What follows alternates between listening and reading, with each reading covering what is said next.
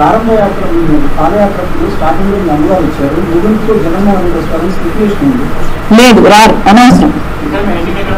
ప్రారంభ యాత్ర పాదయాత్రకు స్టార్టింగ్లో అమ్మగారు వచ్చారు. ముగింపులో జగన్మోహన్ వస్తారని స్పెక్యులేషన్ ఉంది. లేదు రారు అనవసరం.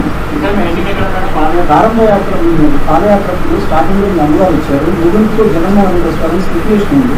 లేదు రారు అనవసరం.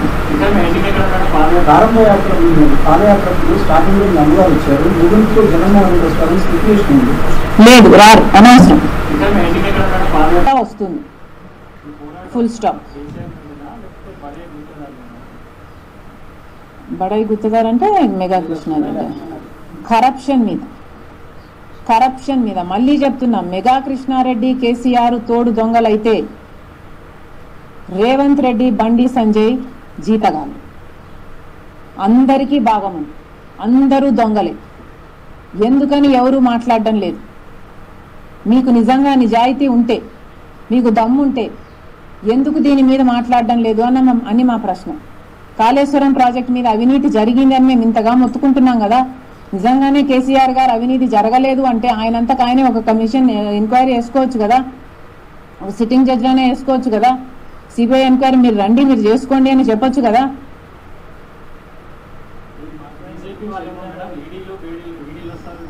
చెప్తుండ్రు టీఆర్ఎస్ పార్టీ బయటకు వచ్చినప్పుడు భయపడమంటారు. మీరేమో రావాలంటారు. అవును భయపడకండి. మీరే ఆహ్వానించండి. ఎందుకు భుజాలు దండుకుంటున్నారు మీరు లిక్కర్ స్కామ్లో కేసీఆర్ కూతురు ఉంది. అందుకే కేసీఆర్ దాదాపు పది రోజులు ఢిల్లీలో ఉండి కూతురు కాపాడుకోవడానికి అక్కడ ఉన్నారని ఈ కేసు తేలిందని హైదరాబాద్ వచ్చారా? లేకపోతే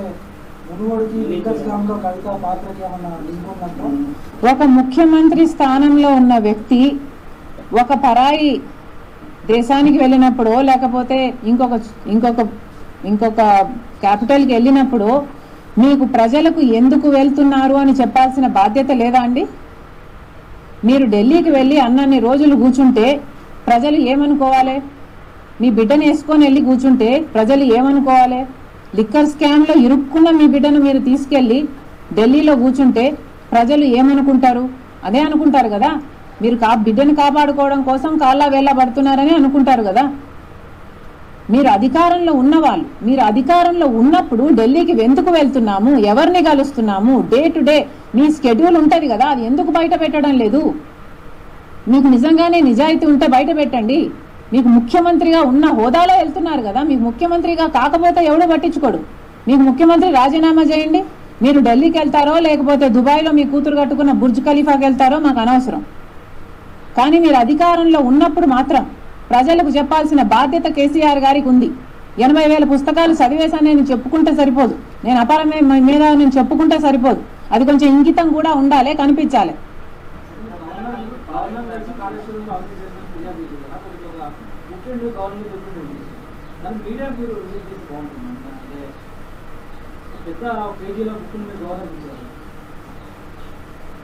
కొన్ని కొన్ని విషయాలు కొన్ని చోట్లనే శాంక్టిటీ బేర్ అవుతాయి ఎందుకంటే నేను మీకు ఇస్తే మీ మీడియా హౌసెస్ మెగా కృష్ణారెడ్డికి అమ్ముడుపోతే దాన్ని మేనేజ్ చేసుకునే అవకాశం ఎక్కువ ఉంటుంది. ఎంతమందికి తెలియదు ఎన్ని మీడియా హౌసెస్ మెగా కృష్ణారెడ్డికి అమ్ముడుపోయాయని నేను ఒక్కదాన్ని ఇక్కడ గుంజుకొని గింజుకొని mega Krishna Reddy mega Krishna Reddy corruption corruption మాట్లాడుతున్నారే ఎవరు ఎంత మటుకు కవర్ చేస్తున్నాడో మీకు తెలియదా మీకు తెలియదా టీవీ నైన్ అనే సంస్థలో టీవీ నైన్ అనే సంస్థలో మెగా కృష్ణారెడ్డికి డైరెక్ట్ వాటా ఉంది. ఉందా లేదా? కనుక కవర్ చేయదు టీవీ నైన్. అది అండర్స్టాండబుల్ కానీ మిగతా మీడియా హౌసెస్ కూడా మెగా కృష్ణారెడ్డి డబ్బులు ఇవ్వడం లేదా? మీరు ఎందుకు మాట్లాడడం లేదు?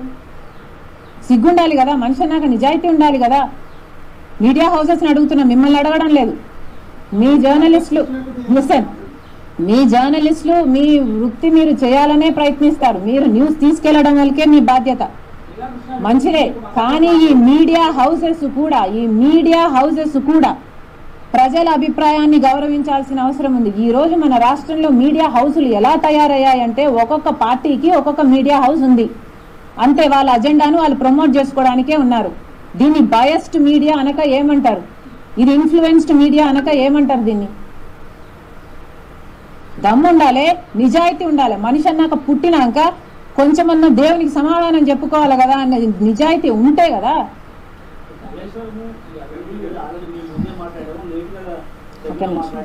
అన్న టేక్ యూర్స్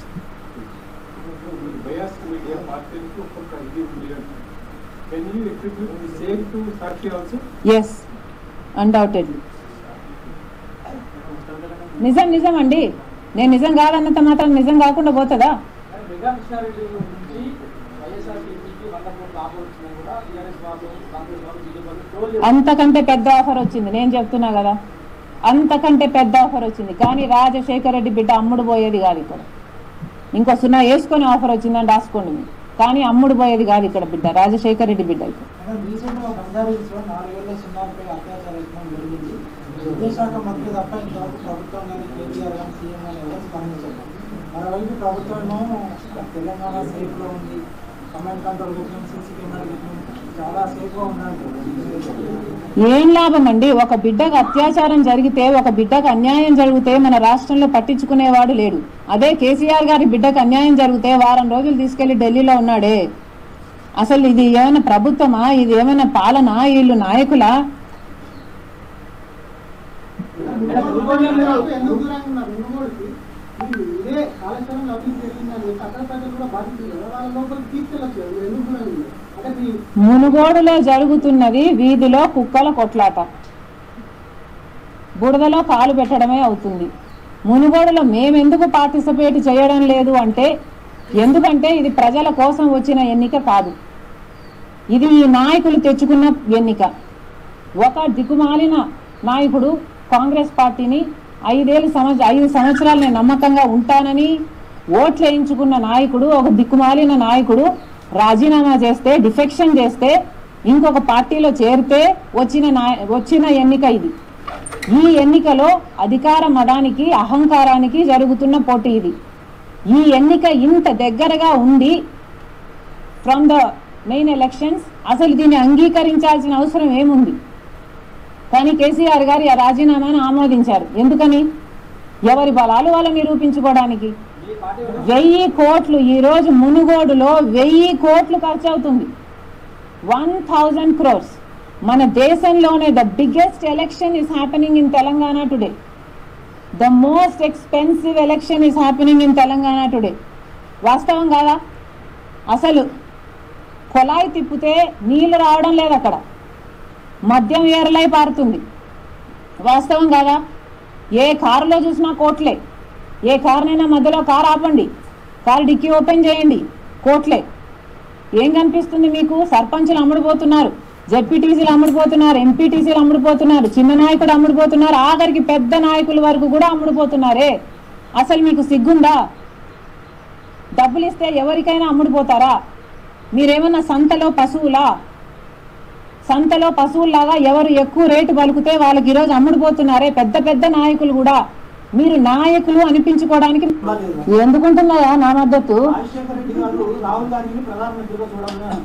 రాజశేఖర్ రెడ్డి గారు అనుకోలేదు. రాజశేఖర్ రెడ్డి గారు చనిపోయిన తర్వాత రాజశేఖర్ రెడ్డి గారి మీద పే- పేరు రాజశేఖర్ రెడ్డి గారి పేరు మీద కేసు పెడతారు ఎఫ్ఐఆర్. రాజశేఖర్ రెడ్డి గారు నిరికిస్తారు అని రాజశేఖర్ రెడ్డి గారికి ముందు తెలియదు కదా.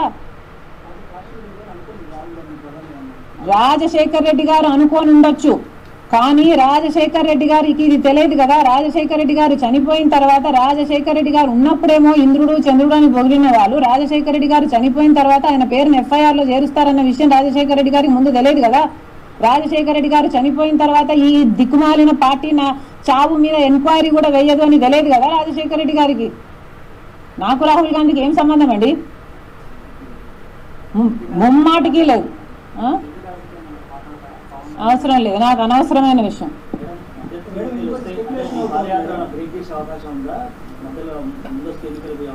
ముందస్తు ఎన్నికలు రావు. కేసీఆర్కి అంత దమ్ము లేదు.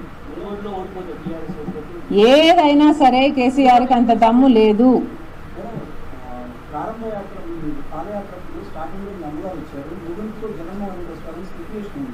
లేదు రారు. అనవసరం. వరంగల్ అనుకుంటున్నాను December some time in December. Hmm? బ్రహ్మాండంగా రాజశేఖర రెడ్డి గారి మీద అభిమానం ఉంది అన్న విషయం పదే పదే రోజు రోజు అడుగు అడుగున రుజువు అవుతూనే ఉంది